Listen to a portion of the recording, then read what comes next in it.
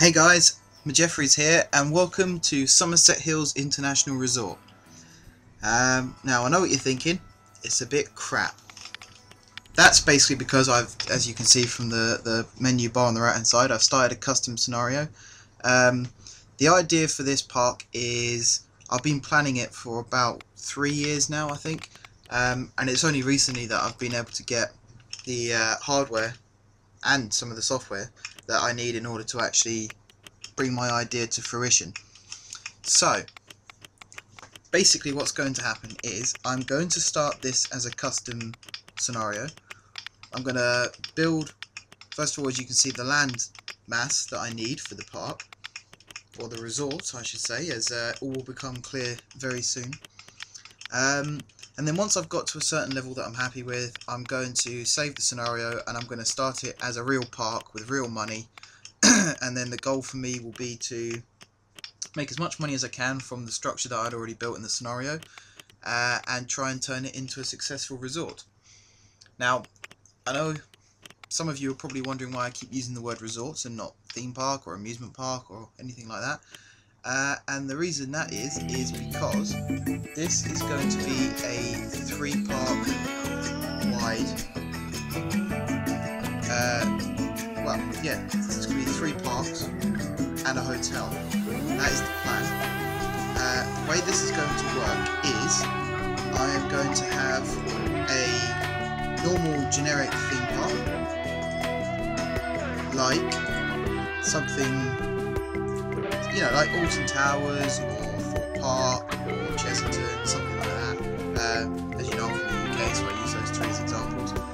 Um, but then next door to the theme park, I'm going to have a safari park with, you know, wild animals, um, lots of animal-based rides and attractions and shops and things like that. Um, and then next door to that, I'm going to have a water park.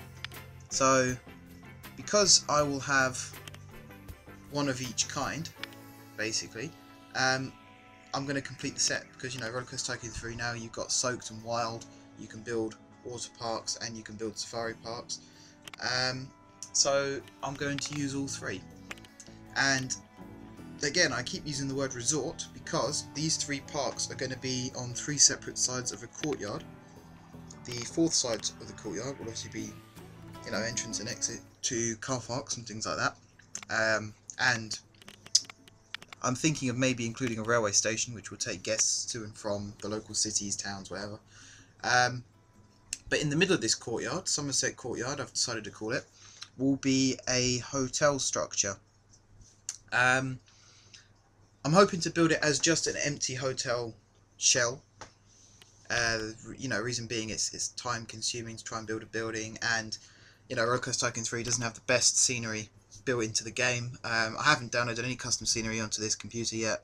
Uh, I'm still setting up how I want to actually build this park. So until I know exactly what I'm going to do with this, with these three parks and the resort around it, uh, I'm just going to keep the basic package that Rollercoaster Tycoon 3 offers. So the is it six or seven or maybe even eight scenery types. Uh, keep it quite basic for now, uh, but you'll see as the series goes on, um, I'll be bringing more and more custom scenery into the game for use with, you know, different rides and and uh, different, you know, theming and things like that. And I'll also be building, bringing in um, custom track rides and maybe some custom flat rides. Uh, basically, to give me the kind of rides that I want in order to build this park or this resort. I keep saying park now. Now said I gotta remember to call it a resort. It is a resort. There will be a hotel. There's three parks, not one. I'm going for a very Disney-esque approach to this. Um, it's not. It's gonna no good. It's not going to be anywhere near as big as Disney, and I'd never even wish to say that I'd be better than Disney. Um, but I'm going for that kind of idea of more than one park in a resort. Um, I'm only going for one hotel again, it's very time consuming to build hotel buildings on this game, uh, which has just reminded me that was what I was actually talking about, so hotel building. Um, I build one hotel. Uh, I'm going to build one hotel. it's going to be a fairly big hotel. Uh, I'm going to try and keep it as empty on the inside as I can. So keep guests from getting lost in there or, you know, just it's a it's an empty shell that happens to fill the middle of my courtyard. So from the outside it looks like a hotel, from the inside it's just a plain building. Um, you know, I, I never plan on actually going inside the building and looking around, so uh, yeah, it'll, it'll be fine, it'll be fine. It'll look realistic from the outside, that's what's important. Um, I haven't decided what type of hotel it's going to be, I haven't decided if it's going to be themed or if it's going to be generic. Um, I haven't really decided on a name for it. I've got a kind of like work in progress name. I'm gonna, like, in my head I have this idea of calling it the Somerset. Um, I have this, basically when I was a kid I used to go to Somerset a fair amount with family and uh, I sort of fell in love with the place. Um, it's been years since I actually last went there and there's not that much of it I can remember in all honesty but Somerset Hills to me sounds like a really nice name for a theme park. So or even a resort as I keep forgetting to call it. So that's that's what this is going to be. It's going to be called Somerset Hills International Resort the international part of it. Um, mainly because you know I hope to have people well, obviously I can't in the game, but in my head I'd like to have people from all around the world travel to visit Somerset Hills. Um, and there's a unique twist, which has been done before, but hopefully the way I do it is unique, uh, which also brings the international section into this. Um, now, the reason I say this idea has been done before is because uh, if anyone has been to Busch Gardens Williamsburg, or Busch Gardens Europe. I I think they're called Williamsburg now, just Williamsburg. Um, you'll know that they have areas themed after certain countries. So you've got an old England style, you've got a German style. I think there's two German styles actually. There's an Italian section. Uh, no, there's two Italian sections as well actually. I think. Um, they didn't really broaden their horizons much when they built that park, did they? Um, so what I have decided to do with one of my parks, which I still haven't named yet, um, that's going to be the theme park park of the resort. Uh, is I'm going to have, I think it's 12, yeah, 12 zones. Each zone is going to be themed after a country. Um, the plans aren't final yet. They may be subject to change as the project is progressing. But for now, I'm fairly happy with the countries that I have chosen and the style in which I'm going to represent these countries. Um, I'm not going to reveal any more details other than that at this point. The reason being, if anything was to happen to my park, my resort, during, you know, between making videos and filming videos and things like that, um, I tend to change my mind a lot, as you're seeing on the screen right now. Uh, I had this really good idea for an entrance building, for like the main entrance to the resort, as if you're walking from the car park, and then as I went through building it, I thought this really isn't going to work, so get rid of the lot basically. Um, but yeah, I'm, I'm going to keep my ideas to myself for now, in case my ideas do change. Uh, the bits that I know are sticking are the Somerset Hotel, which it may be called the Somerset at the end of it, it might not be. Um, and Somerset Courtyard, which that is a name that will be sticking throughout this process. Uh, I like the idea of that. It fits in with, it's a very generic name for uh, the area.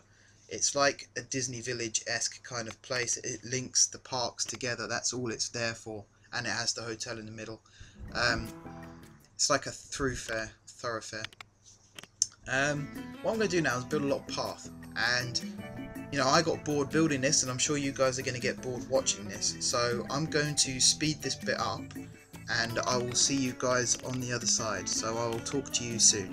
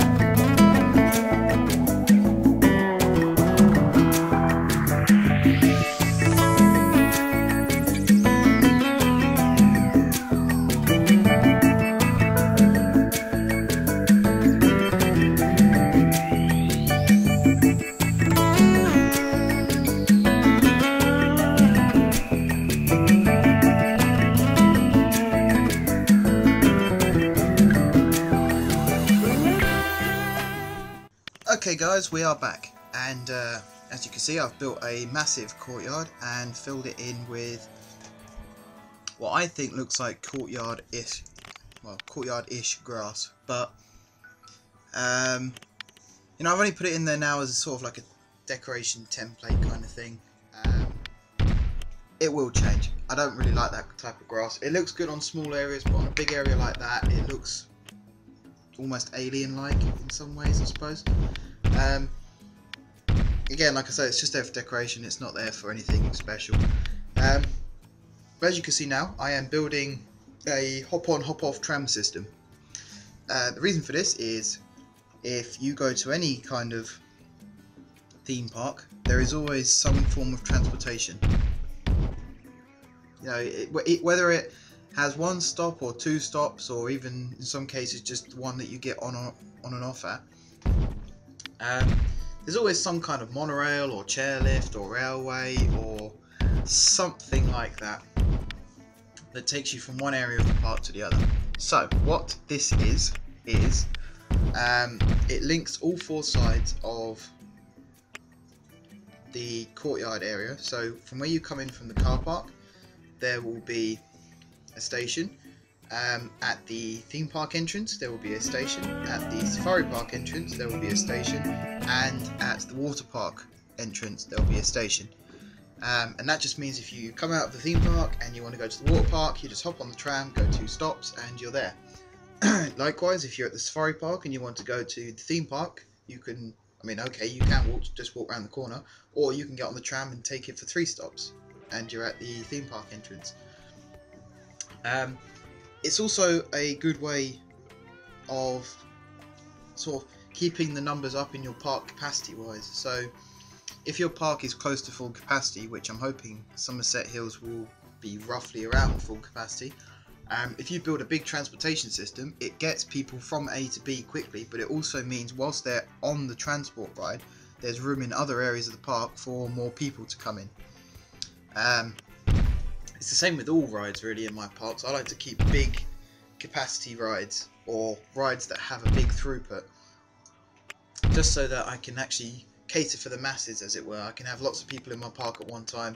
Uh, there'll be no huge queues, there'll be no complaints about huge queues. Basically they can just walk onto a ride walk into the queue of a ride, be there for about 10-15 minutes maybe is a good time for me. Get on the ride, get off the ride, and you know there'll be a big wide open pathway that they can then walk to the next ride of their choice. That's the plan. That's the philosophy of Somerset Hills. Um, there's a few philosophies of Somerset Hills. That is one of them about capacity. Uh, there's a few others about types of ride, things like that. And I'm also going to go for the Disney idea of uh, the whole park is like being in a stage show kind of thing. So you have like a backstage area where the staff go when they're not on duty, um, which you won't be able to see from any public areas of the park. Just keeps that nice and hidden out of the way. Um, each area of the park tells a story, so it's not just there because we decided to have I a forest. It's actually there's a backstory behind why it's a forest and why it's not a jungle or why it's not a desert. Um, each ride itself will have a story that ties it in with that area, so why it's been built in that area and not being built somewhere else in the park. Uh, and yeah, you know, just it keeps the whole mystique of being in a park where you genuinely believe that the ride you're about to go on is set in an old temple or is set in an abandoned mine, you know? Um, and again, that's exactly what Disney have done. And actually, having said, use, use Disney as an example, the uh, UK theme parks like Alton Towers, the, uh, Thorpe Park, Chessington, a lot of their rides, you really do believe that you are in those areas.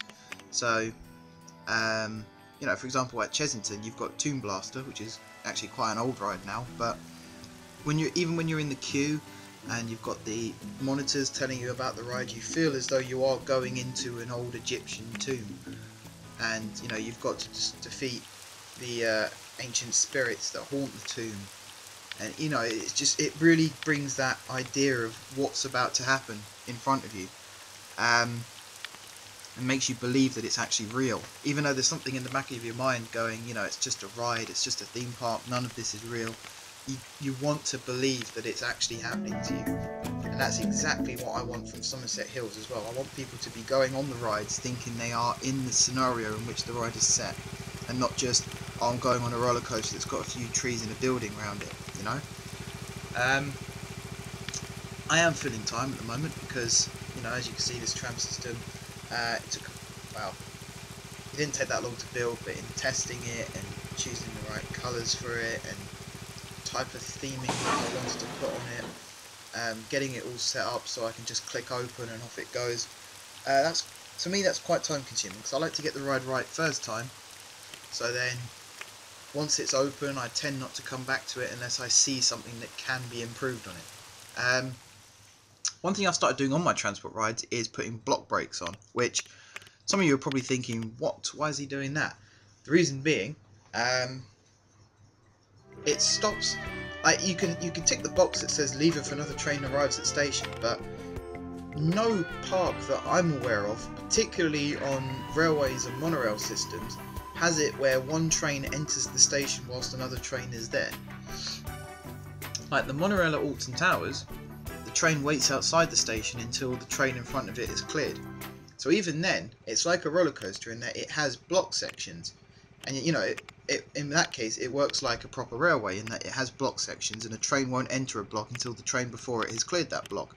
So I'd like to keep my parks as realistic as possible. Therefore, I block section all my transport rides now, with the exception of chairlifts, because you know they're on a piece of string. It's a continuous piece of string or rope, as whatever you want to call it. Um, you can't just have one meter of the rope, the cable, not running, yet a meter further down the cable it's running. That doesn't work.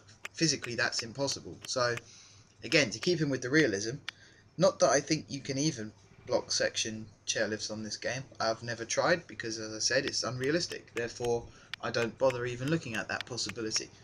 Um, Building this ride, a couple of problems arose, the first of which was what the hell am I going to do with the queue path? Because as you can see the exit path, I could just have the spit the guests out straight onto the uh, courtyard outer border pathway place. Um, but the entrance, you've got to get it from one side of the track to the other side. But at the same time, do you cross the path or do you bring it down next to the path? Um, so again, I decided to abandon that idea temporarily and move on to the next part of the courtyard, hoping that in doing this part of the courtyard an idea will spring to me. Now this part of the courtyard is, to me this was the risk taker. How do I build a hotel in the middle of a courtyard, but without making it look too plain and boring like, oh someone's just put a building in a field. I wanted the hotel to be a signature structure of the resort and maybe even in some cases the landmark of the resort.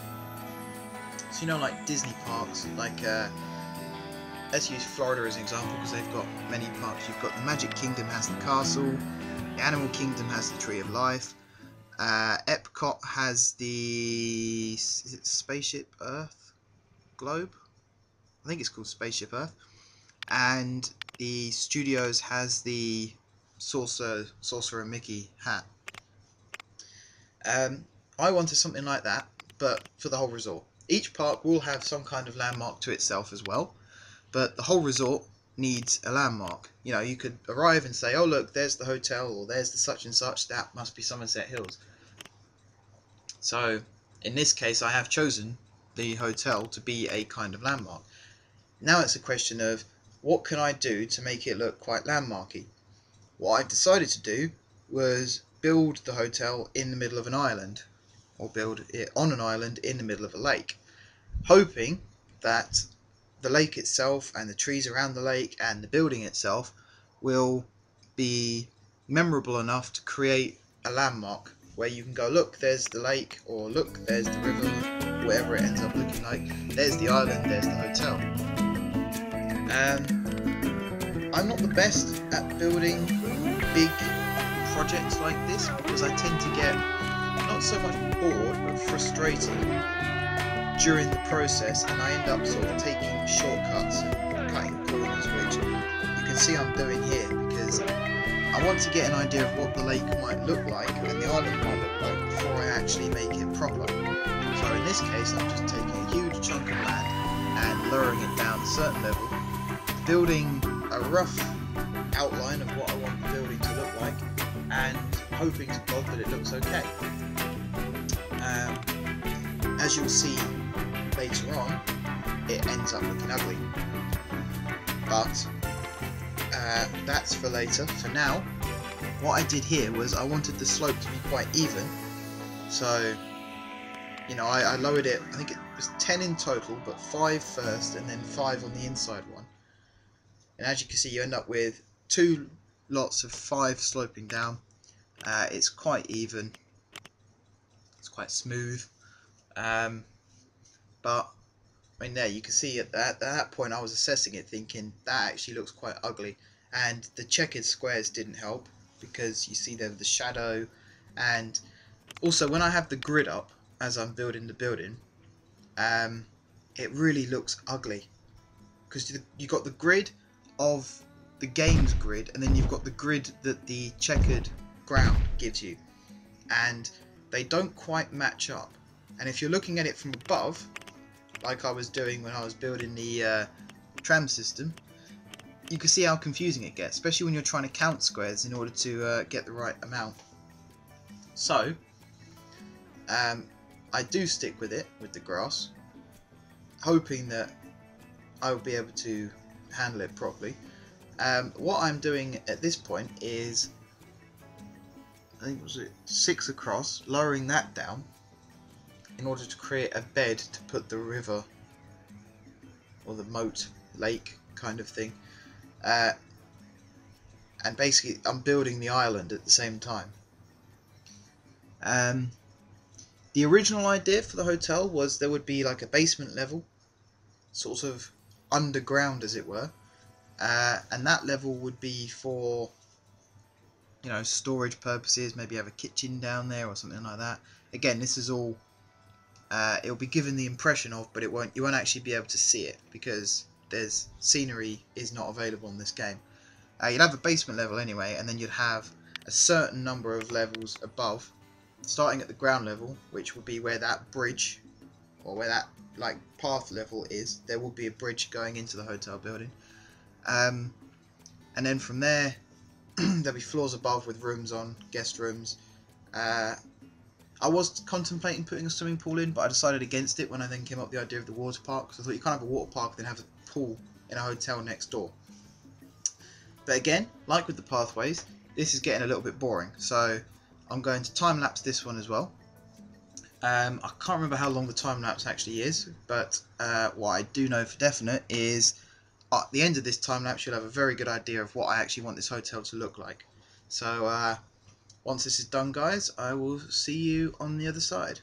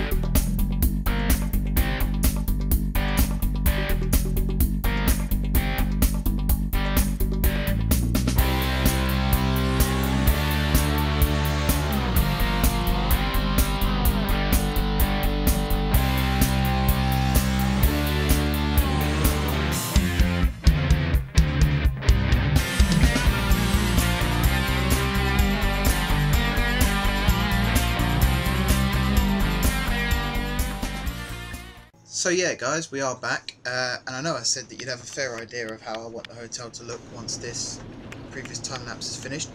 Um, but you know, again, as you saw from it, I really wasn't happy with how it was going.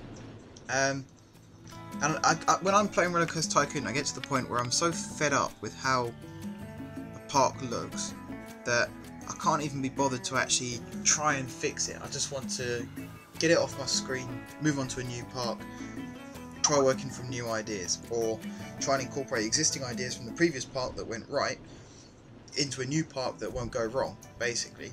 Um, with this park, I do not want that to happen because, like I said before, I've been waiting to do this park for three years. I said, yeah, three years. I think it's actually four years I've been waiting to build something like this. Um, I've been waiting for the sort of the ideas to come to me rather than I just throw things into a park and hope that it all works. Um, I have an idea of how I want the park to look. I know I said that I'm not fully, like nothing is confirmed yet, but there are parts in my mind that are absolute definites. Like I said before, there will definitely be three parts. There will definitely be a hotel in the middle.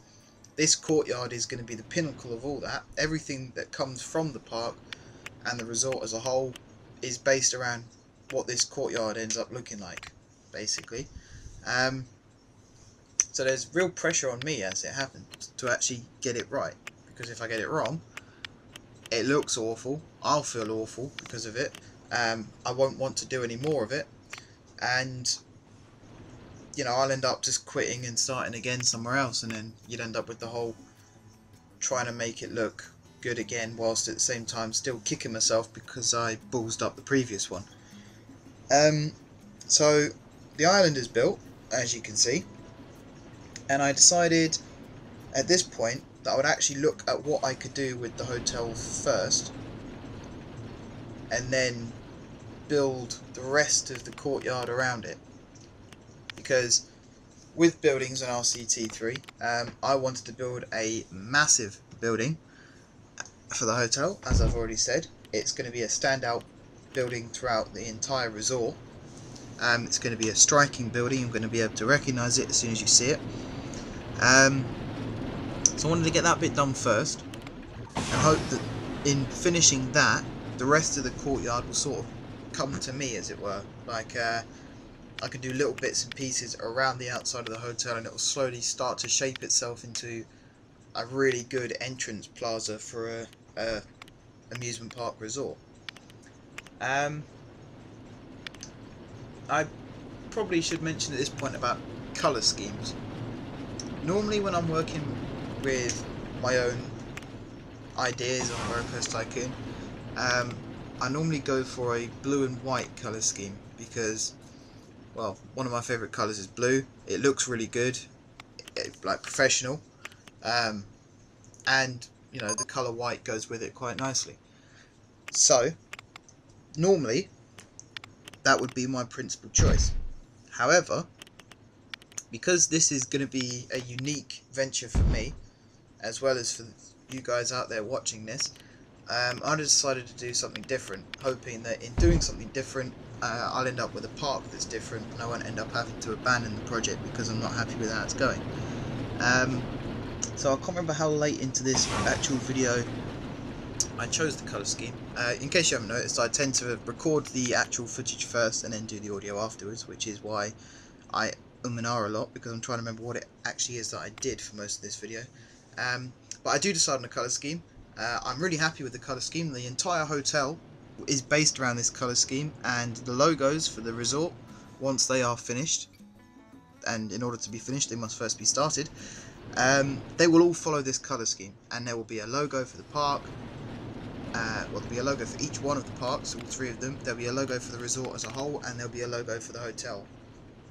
Um, and I'm going to try and fit especially the resort and the hotel they will follow the colour scheme. The other three parks might have their own colour schemes depending on what I decide to, to later on do. But in case you're wondering now, because I've left it long enough, the colour scheme is going to be green and purple. Green for like forests and hills, purple because it goes with green. That's the only reason I can think of to put purple in. Um, But again, this is going to be a lengthy process starting this construction. So uh, for the third time in this video, I'm going to switch it to a time lapse. The reason being, I don't want you guys to sit here and get bored. This footage was originally two hours long, so I've shortened it down to 49 minutes now. Um, so yeah, I'm going to time lapse this bit, guys. Uh, enjoy the building. Leave some comments below about what you think, and I will see you after.